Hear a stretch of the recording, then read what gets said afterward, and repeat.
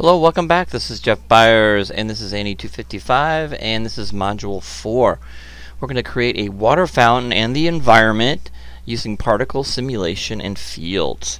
So we're going to go into the overview. The student will model and texture a four-tier classic leaf water fountain and a small outdoor park or garden environment. This will be very small. That will include viewing benches, park-style trash containers, tall park nightlights, and a background park image. The student will create a water simulation using legacy particles like we have been doing and simulate water that will flow up and out of the top and flow over each tier of the water fountain until the water hits the pool of the water at the bottom. The student will turn in a water fountain simulated scene as an MB file and you will compress a PlayBlast at XVID or H264 AVI movie file. And please uh, look over the turn instructions and you will also do a screen uh, a, a, screenshot of the entire environment. Okay, you guys can look at the objectives. They're basically the same thing except laid out uh, in a bullet form. And then um, just keep in mind that if you do run into any issues with Maya, some of the tools, uh, whether it be modeling tools, translation tools, uh, animation tools, some of those don't work, then you may be running on a corrupt file. So make sure that you kind of look through my steps here to help prevent those issues from happening. Okay? And a lot of times I will actually go in here and in the um, in Maya, I'll go in here and show you how I, before I even start Maya, every week I'll go into my documents folder and find the Maya folder and find my, you can see the different versions of I had on here, and Maya 220, and then on your prefs folder, before you even start Maya, go ahead and delete that. Just go ahead and go move it to the trash and once you move it to the trash then delete your trash go ahead and close it and restart Maya and you should be good to go. That's the way to reset Maya totally okay? And I do that once a week before I start a project okay? So Monday comes around and you start your project. Uh, project 4 is coming up uh, this week. And that's what we're going to go over right now is, is the assignment module 4 assignment and you may want to delete your prefs and start from scratch okay? Alright so test review. I'll make sure that is up to date. I, I think it's going to be over hotkeys so you I, I went ahead and give you a list of hotkeys. And um, the assignment of course in bullet form okay? You're using all the techniques that you've learned in 1, 2, and 3 so far and you're going to create and texture. So I want you to model and texture a water fountain and the surrounding environment. Now, the water fountain has to be textured. Now, the surrounding environment can be like our first module. If you run out of time, you can use materials. Okay?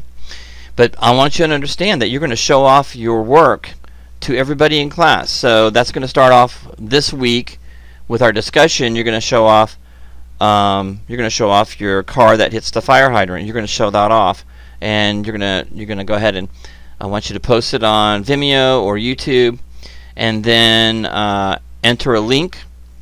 Uh, make sure you enter a link that people can get to so they can see it and they're gonna critique you. So I want you to do the same thing uh, same for other people. You're gonna need to respond to two other people on your discussions. So that's what's gonna happen with your with your discussions this week is that you're gonna share your module 3 uh, Module 3 assignment. Alright, so um, you need to set dress your outdoor uh, park fountain environment. You'll need to have four um, assets. And I used three of the last ones. I had a park bench, a trash can, a park trash can, and I'll show you that in just a little bit, and a mailbox. Okay, and then I then I went and had a modeled really quick uh, lamp post. Okay, because you see lamps in parks all the time. Alright, so you're going to create the simulation of course. You can read through all this and um, create the simulation. You're going to create a play blast you're going to create a screenshot and you're going to create uh, you make sure you give me three uh, scene files. And don't worry if you have problems with the Maya scene files um, you can get rid of the simulation. Like the MB file may be the only one that will save the actual simulation so I've got to have an MB file but the OBJ does not need the simulation in it nor does the FBX. Now, the FBX I think will hold the simulation just fine. I don't know. You can give it a try.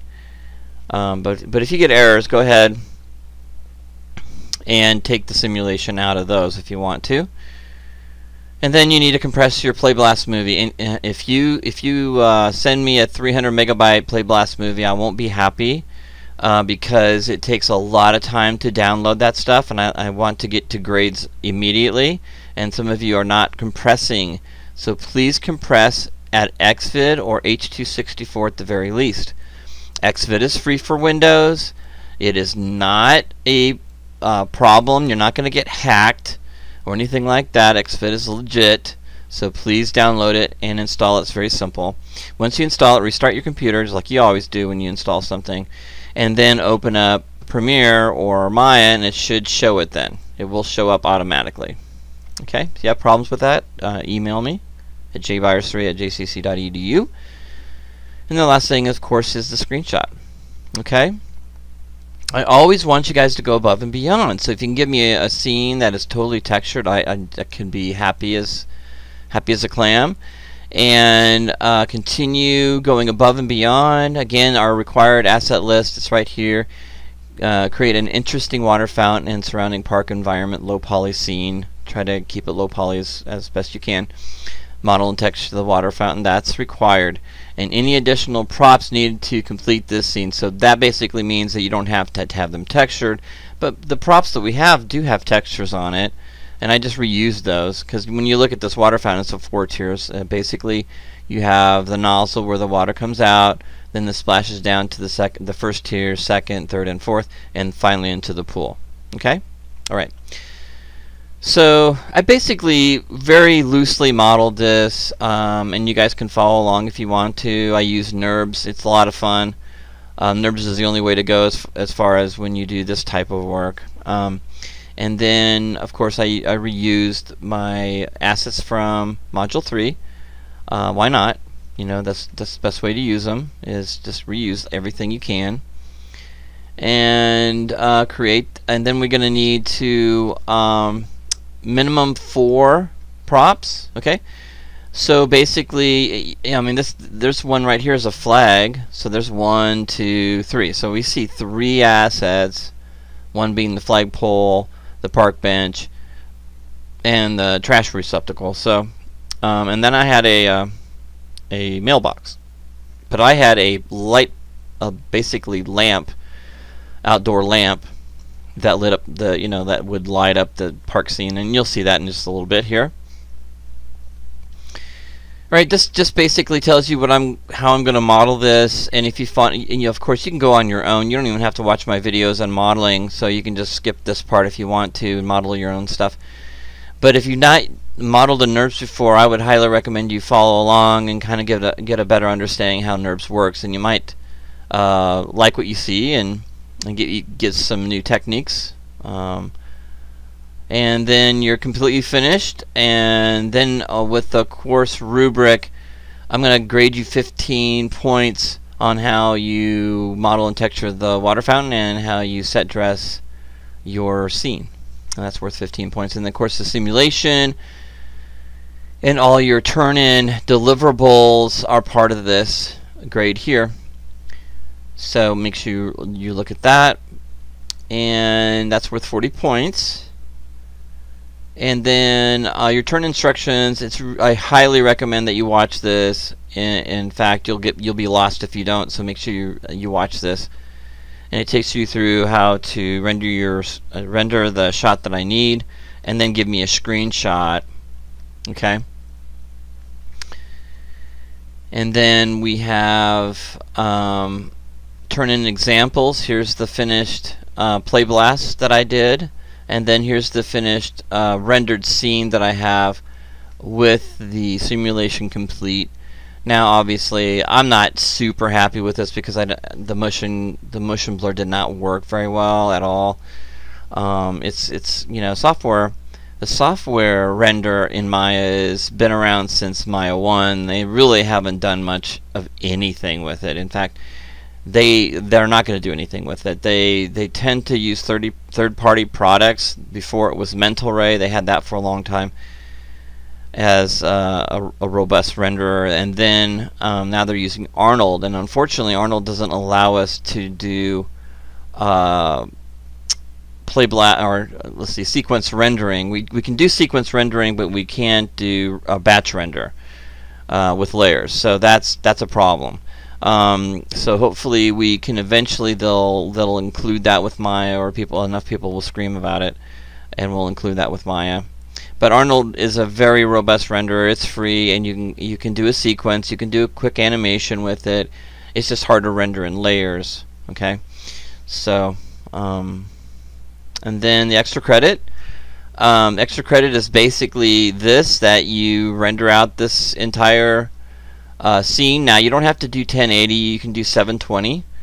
Um, but that will stay. That will take a long time. It may take a couple days. So if you are going to do your extra credit and get 10 points, you're going to have to do at least 300 frames.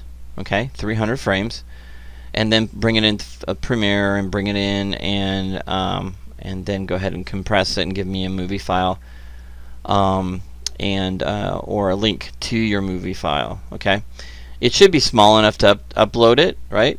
Uh, we, I would say that you have up to 500 megabytes to upload. It won't be that big, you know most of the animations that I have are under 50 megabytes okay if they're properly compressed at you know 300 frames so you should have no problem actually uploading it you'll have to put it in the extra credit folder um, if you don't have extra credit you don't need to include the extra credit folder. But if you do do the extra credit make sure you put it in there okay? And I hope you're enjoying the assignments and enjoying the class. And I will see you guys in module 5 which will be exciting. Um, so take care and I'll see you guys uh, next week